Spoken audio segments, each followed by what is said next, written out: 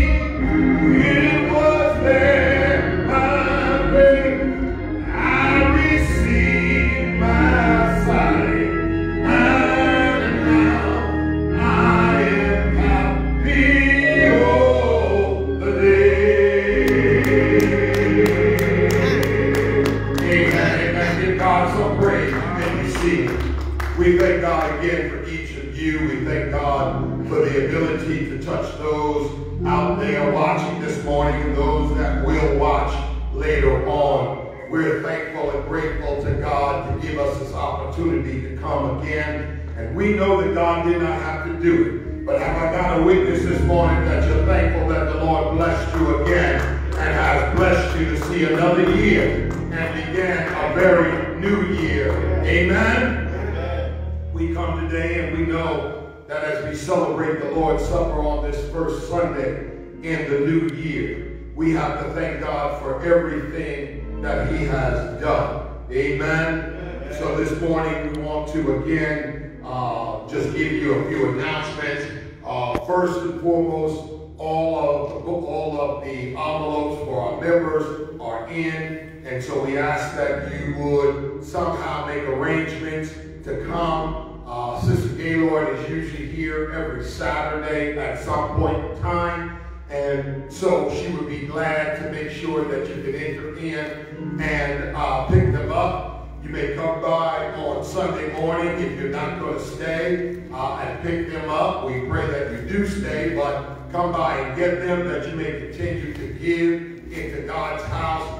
Uh, we ask that you would mail it in or send it through the pay app that we have uh, provided for you over uh, almost a year since we have not been physically uh, in service again. So we want everyone to start out anew, give as God has so blessed you, and uh, God will open that door up and pour out a blessing upon you. Amen? Again, also, uh, as we see this morning, uh, we've had a little bit of inclement weather. Uh, we've had some uh, snowflakes drop down and some rain. Again, I, I, always joke with the people, good Baptists will go through the rain, the snow, and the sleet, and the hail to give God glory. Amen? Amen. And somebody said, well, why do you say that? I said, because Jesus went through hell to get us.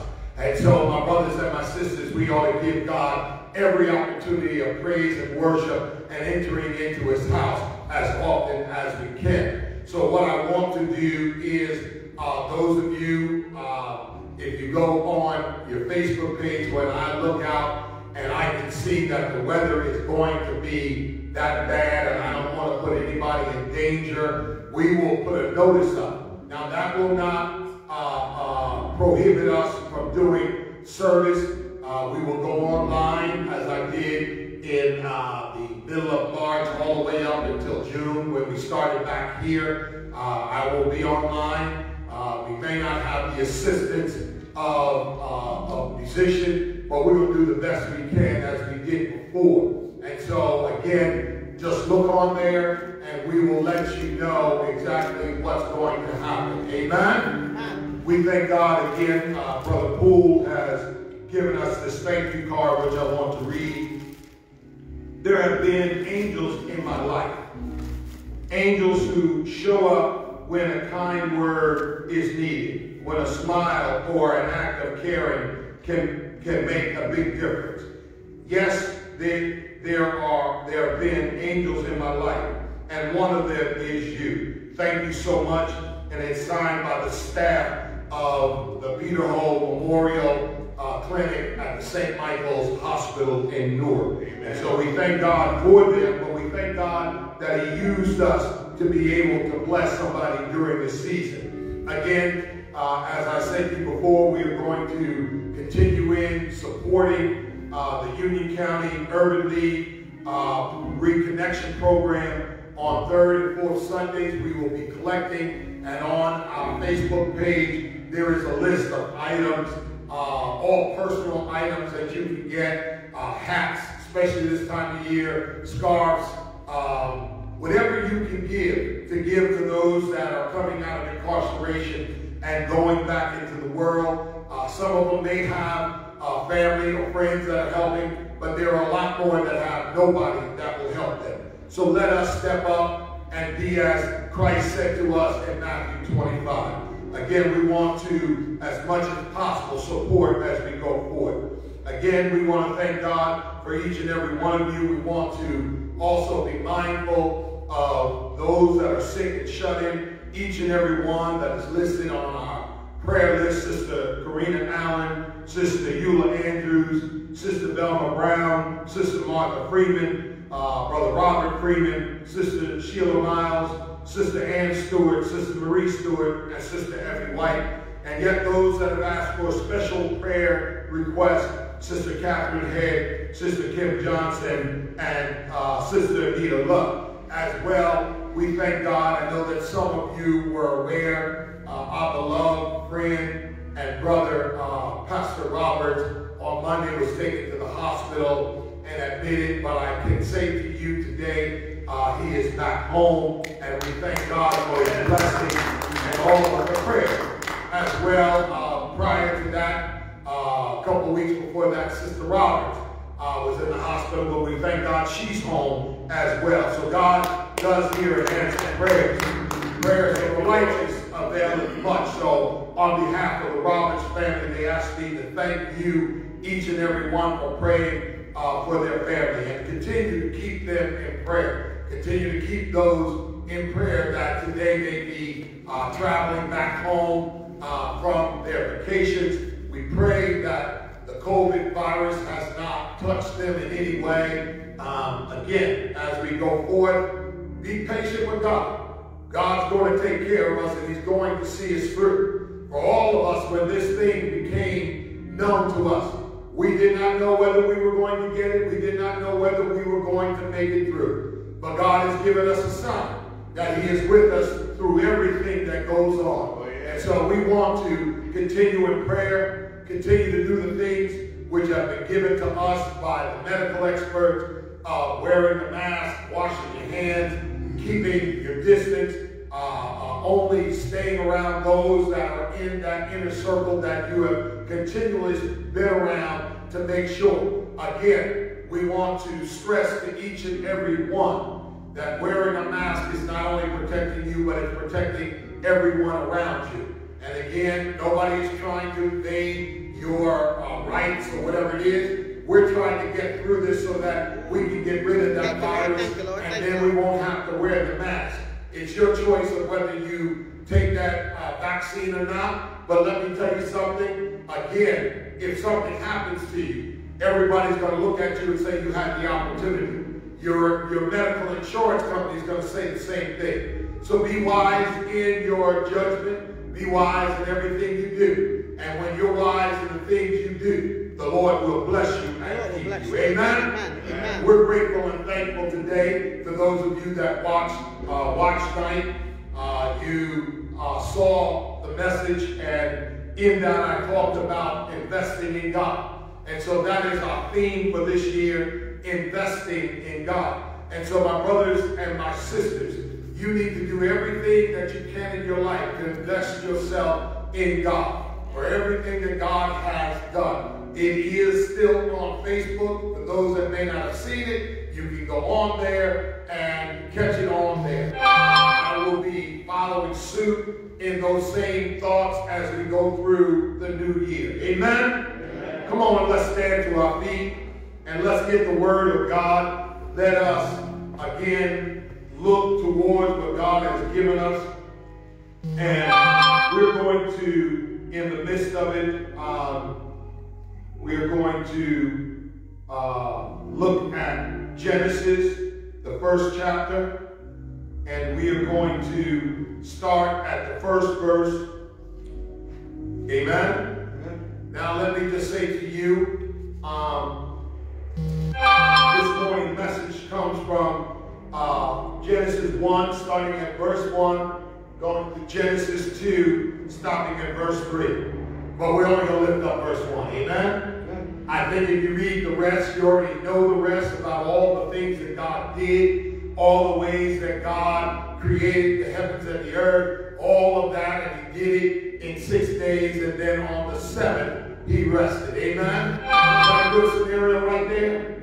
Amen. So we're just going to read verse 1. In the beginning, God created the heavens and the earth. Amen? Amen? That's our morning scripture lesson, but read verses 1, chapter 1 through verse, uh, chapter 2, verses uh, 3. Amen? Amen? It's praying time this morning. And so we thank God for this opportunity. We thank God for the ability that we're able to enter into prayer one more time. We're enter, able to enter in to give him thanks. We're able to do some things that we didn't think we might be able to do as we went through last year. But thanks be to God. He's given us the victory through Jesus Christ. He's given us the victory through everything that has gone on. And so my brothers and my sisters, we need to know that God is sweet. He's so sweet that we ought to know it deep in our hearts. That in the midst of it, that as we go forth in prayer this morning, as we give God glory, as we give him honor, he's worthy for everything that we realize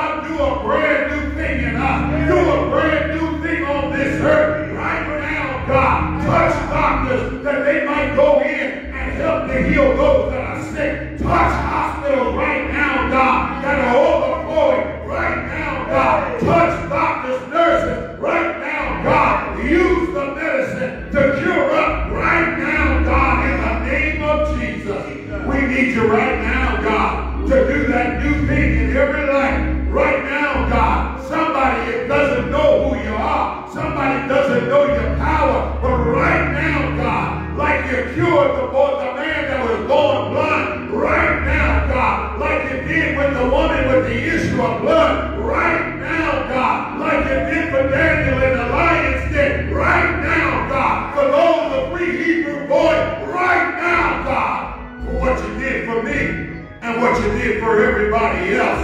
Go into the pit of hell and pull us out right now, God. Thank you, Lord. We thank you and we magnify your holy name. We thank you for every door opened in your name, for every man, woman, boy, and girl preaching and teaching and spreading the gospel right now, God.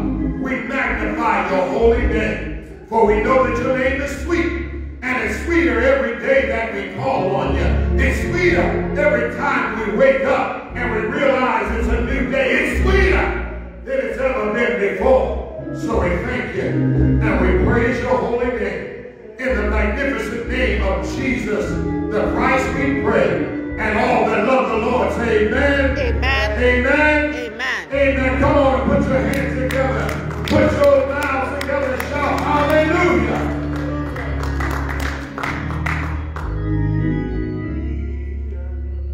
Amen. Amen. Come on and give the Lord that praise. Amen. We want again to invite Brother Mike to come, and he is going to lead us in a song, and then we're coming back with the word for today. Amen. You may receive.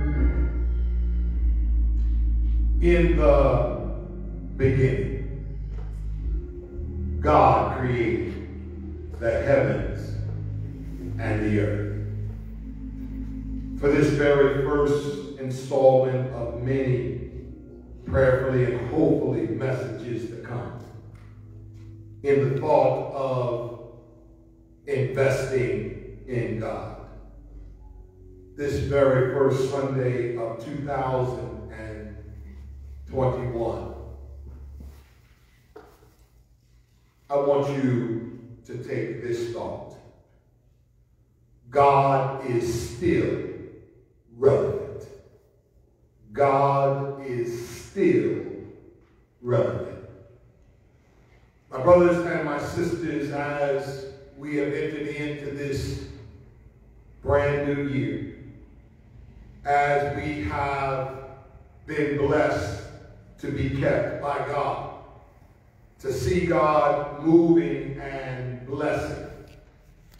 We need to stop and realize that the God of yesterday, the God of today, and the God of tomorrow is still relevant in all of who we are and what we are. And because God is still relevant, we ought to invest ourselves completely and fully in God in every aspect of our life. Not just when we want God, not just when we need God, but we ought to invest every part of our life in God. I read this article that there are at least five investment firms that are somewhat of 150 years old. And in 2018, they celebrated the 100th, 150th anniversary of the launch of the first investment company. Uh, one of the very first investment companies was Foreign and Colonial Investment Trust, which started in 1868. Over 150 years, investment companies have helped investors meet their financial needs and navigate through tough times, including two world wars, the Great Depression, the tech boom and bust, and the global financial crisis, but have uh, remained relevant to those of today's investors. This association of investment companies held a round table discussion with the three oldest investment companies with some input from two other investment companies. And what they did was they got together and the managers of the foreign and colonial investment and the Duden income, excuse me, income growth investment company. Uh, uh, colonial, foreign and colonial investment is 150 years old. The Dunedin uh, Income Investment Group uh, is 145 years old, and the Scottish American Investment Company is 144 years old. And, and they discussed how their companies had uh, continuously adapted to meet the needs as well as the outlook of the market. The, the, the, the, the director of the Association of Investments uh, said the investment companies have been helping investors achieve their financial goals for over 150 years. Their pioneering spirit has enabled investors to access growth uh, opportunities in new markets and sectors around the world and has delivered strong and reliable dividends for income seekers. The fact that 23 investment companies have track records growing and, and giving back over 100 years shows how this sector has stood the test of time. It's investing to the invested investment companies are just as innovative today as 17 investment companies launched since 2017 as the sector continues to adopt and meet the, the investors' needs. The question asked to them, to these companies, was simply this. How investment companies remain relevant in today's time. Paul Needham, who was the, found, uh, the fund manager of the Foreign and Colonial Investment Trust, said the trust was established 150 years ago with the purpose of bringing the advantages of a pooled approach to investing to the investors of moderate means, and its objective is as true today as it was on the first day as it was founded. The key to trust uh, success, having paid a dividend to shareholders in every year of its history, and having increased dividends for 47 consecutive years, is that it has never stood still. It has continued to successfully evolve to ensure it, it's remained relevant for investors of today. James Dow, a co-manager of Scottish American Investment Company, like uh, his other counterpart, uh, says that remaining relevant for 150 years by remaining true to sound investment principles. In the Scottish American case, our long-standing focus has been to invest in growing companies with robust, robust cash flow, which are overseen by boards with a strong commitment to paying dividends. This, this tried and test approved has underpinned the trust a long record of inflation beating income growth for its shareholders. We expect this to continue along in the future. Ben Ritchie, lead manager of the Dunedin uh, in Income Growth Investment Trust, said State started life under Robert Fleming in 1870, investing in North American railroads, uh, investing in the bonds that would build these railroads. Today, close to 150 years later, its investment predominantly in the UK equities, our ambition remains to provide a compelling combination of capital, income growth to our investors using the natural advantages of investment trust structure. It is increasingly well positioned to meet the challenges of providing a relatively high and growing dividend in a world where yield is sacrificed. My brothers and my sisters, you're probably asking the question, why, Pastor, why, preacher, why, Reverend, are you talking about these companies? Well, that's where the text comes in. The Bible says, in the beginning, God created the heavens and the earth. My brothers and my sisters, these companies that are somewhat of 150 years old, they are saying that they were the first investment company that ever came about. But I want to tell you that God was the first investment company that ever came about. For the Bible says that in the beginning, in the beginning. and if I'm corrected, there was nothing there that God called out and nothing answered. And, and the word says that he took nothing and created it into something. That, that, that when you read from that first verse in the first chapter and you go through all of the following verses and you go through down to the second chapter and the third verse, you will find that God is the first and foremost investment company that anybody could put all of their investment in. I, I need to tell you today that, that, that when in fact we look at what is going on in the world, that they have said that through all of the wars and through all of the depression and through all of that, they were able to still give back. But I, I want to tell you that it had nothing to do with them. It had to do with what God had already done. Now, I need to tell you that in all likelihood, we know that there is a God and it is in the fractional uh, uh, statement along with these verses in chapter 1 and beginning all the way to chapter 2, verse 3, that we read and see what God created. God created. The summary statement will be detailed in the following verses. But the Bible simply and straightforwardly declares the world did not create itself or come about by chance it was created by God, who by definition is eternal and always has been. My brothers and my sisters, I want to tell you today that while you're trying to invest in everything else, your best investment will be in God. Your best investment will be in Jesus who died for you on Calvary.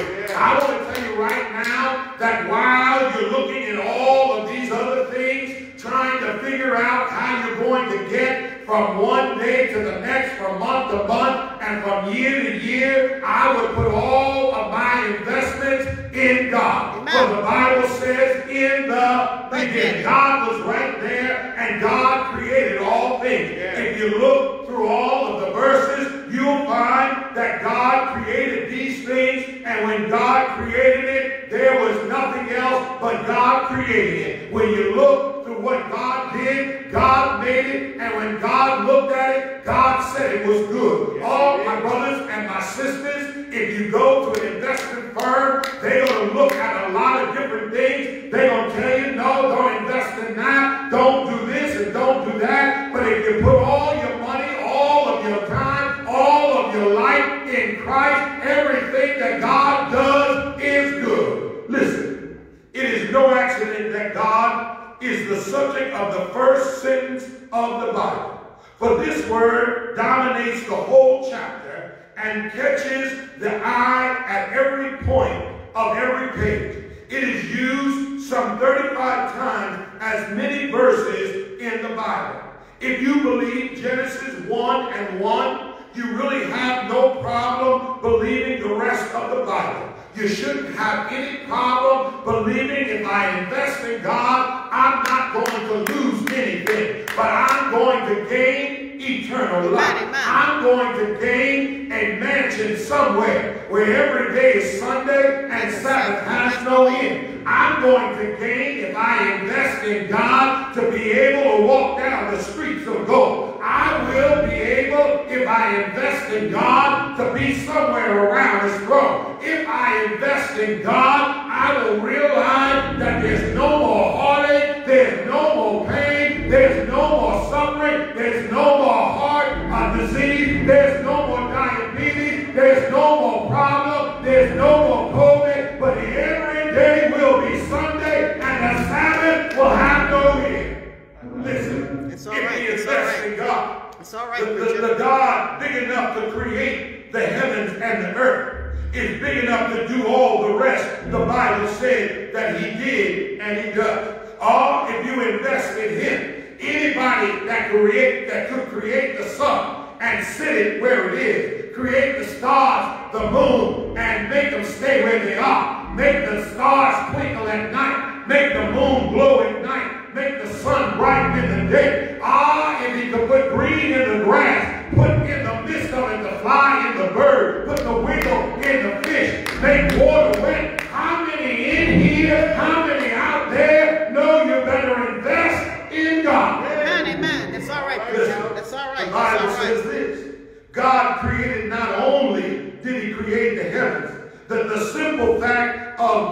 Creation is even more amazing when we consider the greatness of God's universe. A, a typical galaxy contains billions of individual stars. Our galaxy alone, the Milky Way, contains 200 billion stars. The average distance between one galaxy and another is 20 million trillion miles. Our closest galaxy is the Andromeda galaxy, about 12 million trillion miles away. You tell me that a God that could create galaxies like that can't do all things exceedingly and abundantly well? Don't you want to invest in a God that's able to do all things like that? Don't you want to create? Don't you want to invest in a God that even where he sits, he can speak and dispatch angels, and angels will come down and see about you? Have I got a witness today? Won't you invest in God? Every patch of sky, the size of the moon, if you could look very deep, you would see about a million galaxies. But God did all of this himself. Indeed, my hand has laid the foundation of the earth.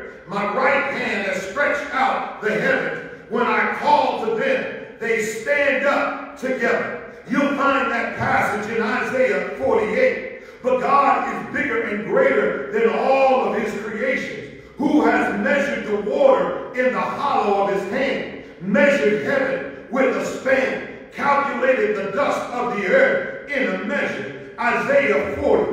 Or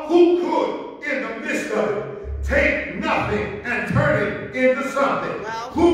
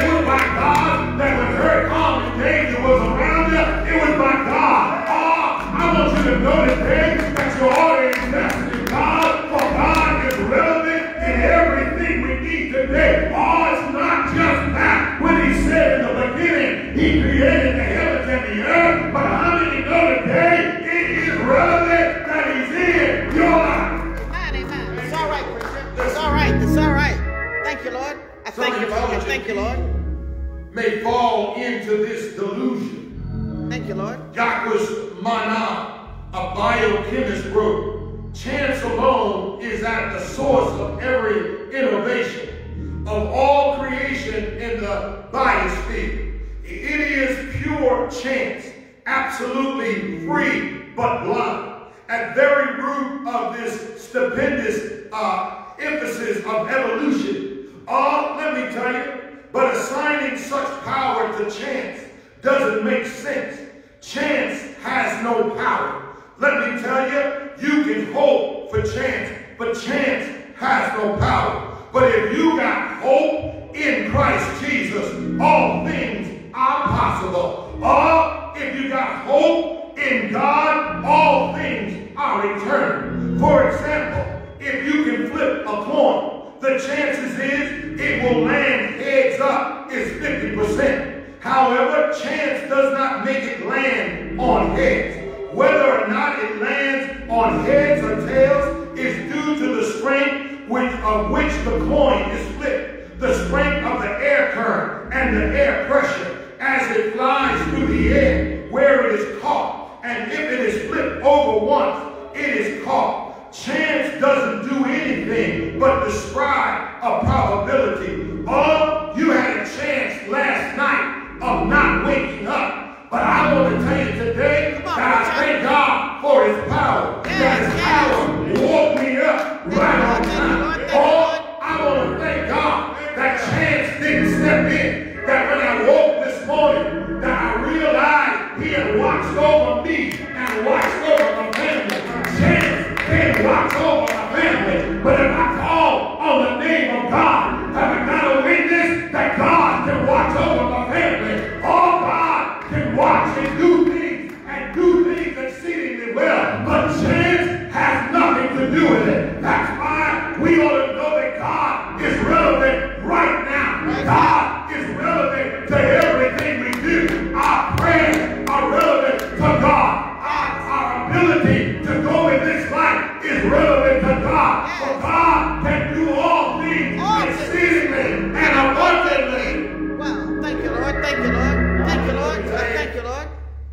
Many years ago, a scientist by the name of Carl Sagan petitioned the U.S. government for a grant to search for intelligent life in outer space.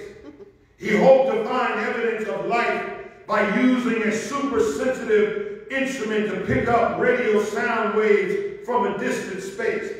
When he received these radio waves, uh, radio signals, he looked for order and pattern, which would demonstrate the fact the signals were transmitted by intelligent life. In the same way, the order and pattern of the whole universe demonstrates that it was fashioned by intelligent life, not by chance. The scientists detected uh, detect chance in the radio signals consistently in the form of static with no pattern, but it tells them nothing at all. When we look at what God created, it inherent the idea of God is that He is intelligent designer, and, and an intelligent designer could create a just right universe, not by chance, but by power. Our universe is just right universe. It's just right because God made it. According to Hugh, Ross in his, in his book, The Fingerprint of God, the universe has a just right gravitational force. If it were larger, the stars would be too hot and would burn up too quickly and too unevenly to support life. If it was smaller, the stars would remain so cool and so cold, nuclear fission would neither ignite and there would be no heat and no light. The universe has a just right speed of light. If it were larger, stars would send out too much light. If it were smaller, stars would not send out enough light. The universe has a just right average distance between the stars. It, it were, if it were larger, the heavy element density, density would be too thin for rocky planets to form, and there would only be a gaseous planet. If it were too small, the planetary orbit, orbit would become destabilized because of the gravitational pull from other stars. The universe has a just right polarity of water molecules. If it were greater, the heat of fusion and the vaporization would be too great for life to exist. If it were too small, the heat of the fusion and the vaporization would be too small for life to exist. Liquid water would become too inferior a solvent for life's chemistry to precede ice and not float, leading to a run off of freezing up ice. We could conclude that there is no chance that as such a universe could create itself apart from having an intelligent designer. Well, I need to tell you today that in the beginning, God created. And what God created, He created for us. He created it that we would understand that He's God all by Himself. Amen. He created it so that the water would flow the right way. He created it that the sun would give off its proper due. Oh, he created it that the moon would do what it's supposed to do. I stop by to tell you today, he created us in verse uh, 27 of chapter 1 in his own image. He created us that we would reinvest in him. He created us in the second chapter, verse 7, when he blew his life in us, that we would invest in him. I stop by to tell you today uh, that the God of yesterday uh, is the God of today, uh, shall be the God of tomorrow. and if you invest in the God of yesterday that made all things, if you invest in the God of today that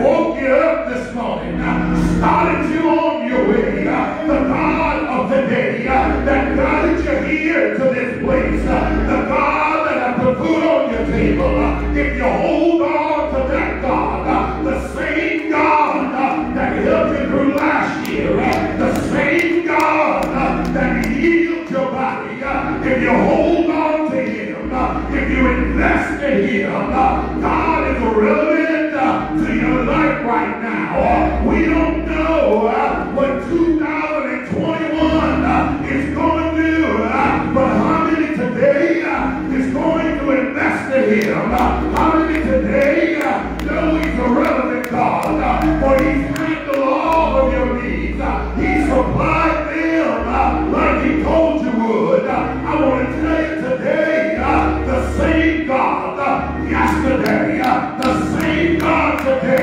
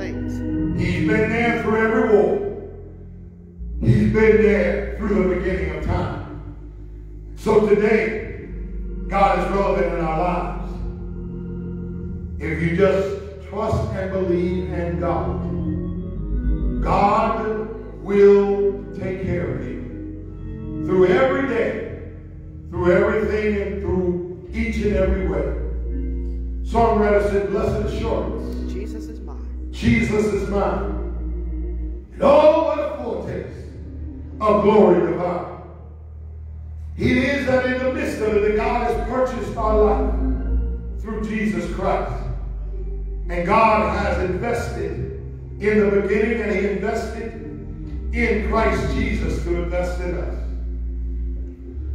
Blessed assurance, Jesus is mine. You know,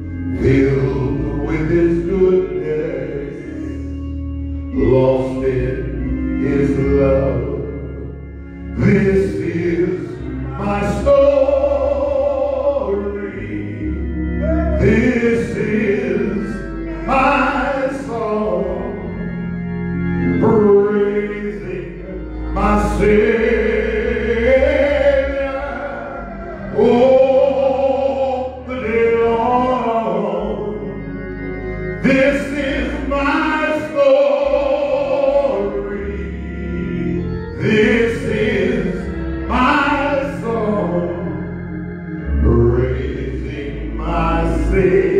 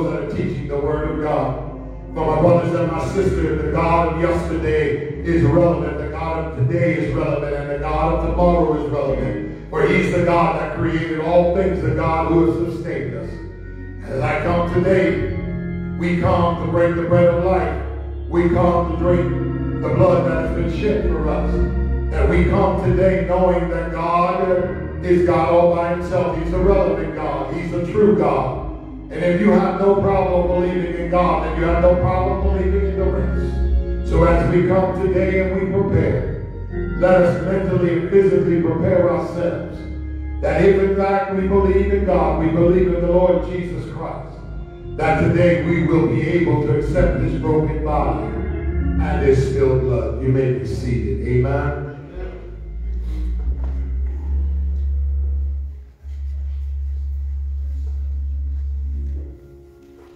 Our song this morning for our communion is Pass Me Not.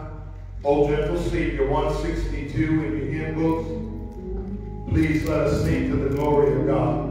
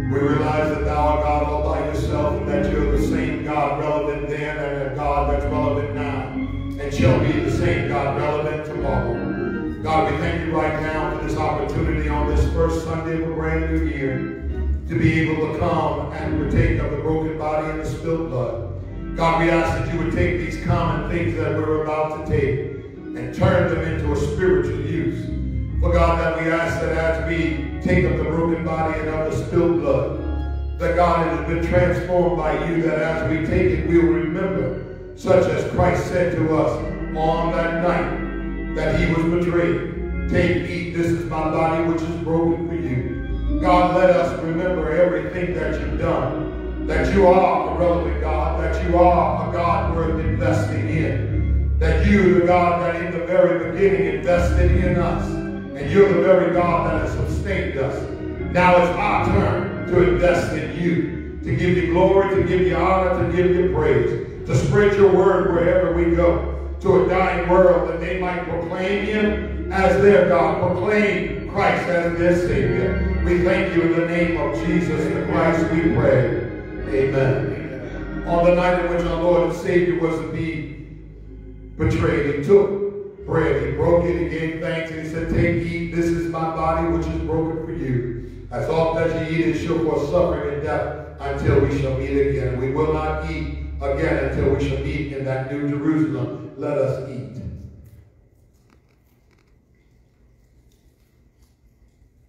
Amen? Amen.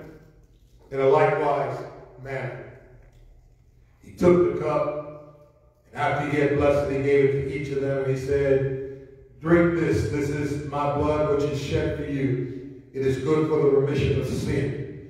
We will not drink again until we shall meet in that new Jerusalem. He gave it to each of them, and they did drink. Let us do likewise.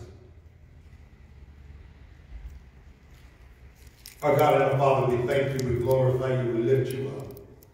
We thank you for the opportunity to partake of this communion. We thank you for the opportunity to step into your house. We thank you for the opportunity of the breath in our bodies to give you praise and to worship. God, as we go out of this place, continue to fill us with that Holy Spirit, that we might give it out, spread it all over, that again we'll return empty so we can be filled up again. We thank you in the matchless name of Jesus the Christ we pray. Amen. I know it was the blood. I know it was the blood